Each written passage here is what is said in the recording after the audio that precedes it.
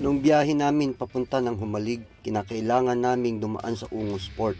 Nakiparking ako ng sasakyan malapit sa pier at nagbayad ng 200 pesos per day. Nagbayad ako ng 10 pesos each terminal fee sa pier at 500 pesos each pamasahe sa bangka.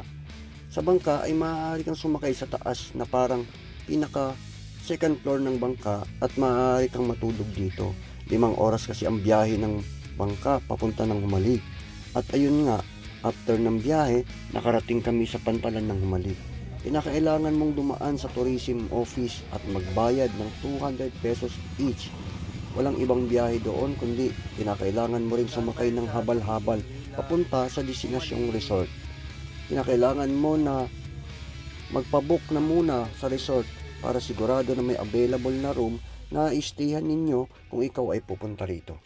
Kailangan mong libutin ang buong humalig para ma-enjoy mo ang magagandang spot sa lugar na ito. Kaya kinakailangan mo pa rin na maghabal-habal para marating mo ang magagandang lugar dito. Sa habal-habal ay babayaran mo ng 80 pesos each sa paghatid at pagsundo mula sa pier hanggang sa resort at mula sa resort hanggang sa pier. Kadalasang hanap buhay ng mga taga rito ay ang habal-habal bilang pinaka-tour guide at ang iba naman ay ang pangingisda.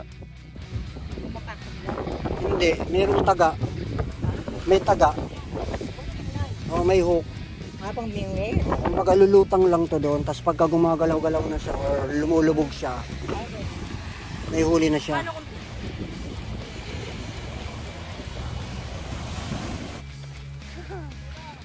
Ang price pala ng cottage at room dito ay nagre-range ng 1,500 to 3,500 pesos. Mayroong good for 2 packs, for 4 packs, or 6 packs. Mayroon ding di aircon, mayroon ding electric fan lang. Ang price naman ng pagkain per meal ay 200 pesos each. May bukod pala na bayad na 800 pesos bawat isang rider ng habal-habal at ililibot nila kayo sa buong isla ng Humalig. Mapupuntahan kasi ninyo ang magagandang lugar sa Humalig gaya ng Kanaway Beach na maladisyerto ang itsura ng buhangin kapag ka low tide. Dito matatagpuan ng tinatawag na San Ripol na parang akala mo'y dis- disyerto.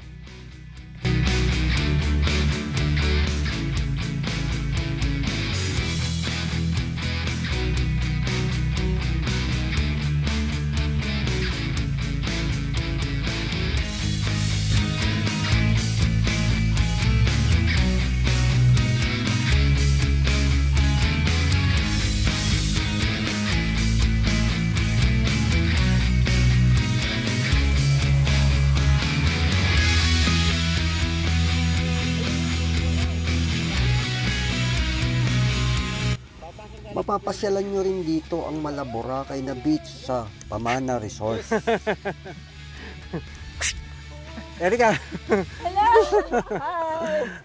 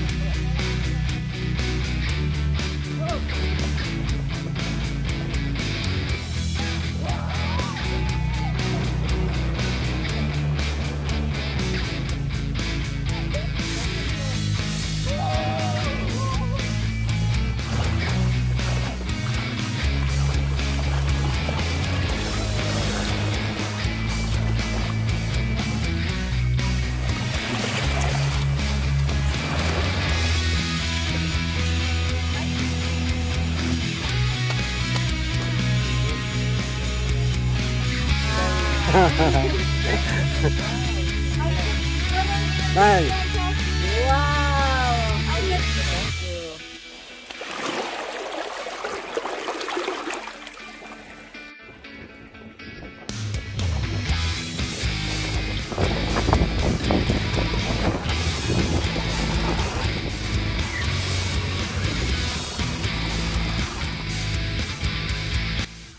Makikita nyo rin sa humalig ang malabatanis na lugar na talaga namang kaakit-akit ang ganda.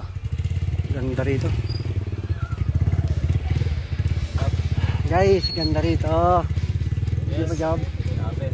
Sobrang ganda dito, nakaka-amaze talaga yung lugar. Para kang nagpunta, para kang nagpunta sa malalayong lugar. Merong pa Middle East, merong pa Batanes, pa Boracay, merong basta ang ganda.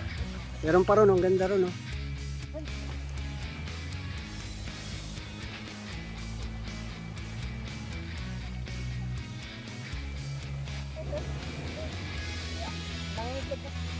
Ah, grabe.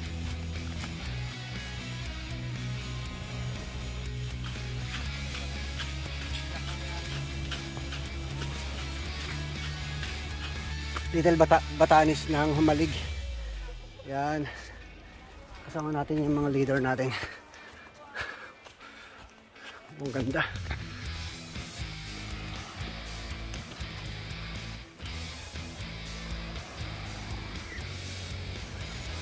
Ganda.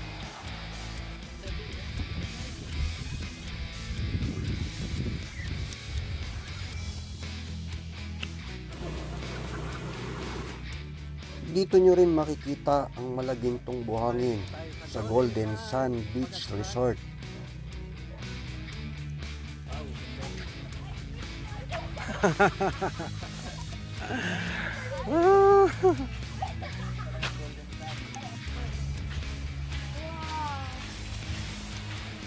The Golden Sun.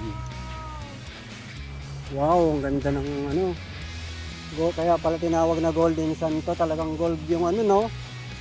Buhangin. Woo! Woo! Oh, grabe. Ganda ng lugar na to ah. Sayang, wala na yung drone ko. Uh, uh, uh. Woo! Ganda ng area na to sa... Linaw ng tubig oh. Ah, ito, ito siguro sinasabi. Medyo naman to, ano, parang asukal na, ano.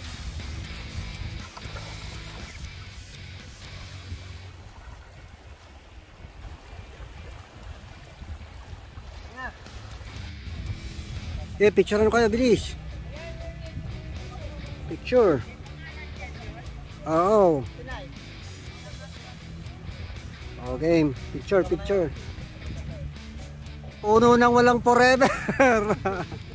Kung gusto niyo namang masaksihan ang magandang paglubog ng araw ay magandang puntahan ang Salibungot Beach Resort at doon ka na maghintay ng paglubog ng araw.